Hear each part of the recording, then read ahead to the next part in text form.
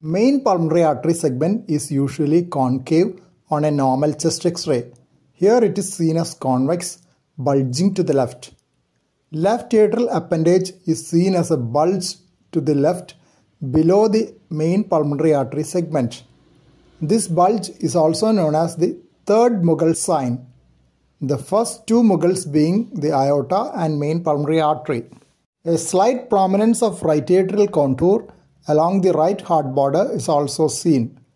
Right pulmonary artery is also slightly prominent in the right hilum.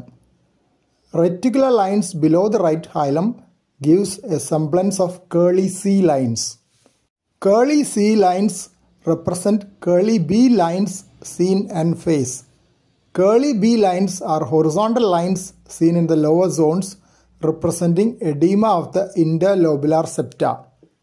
Curly A lines are linear opacities extending from the hilum to the periphery representing distended anastomotic channels between central and peripheral lymphatics.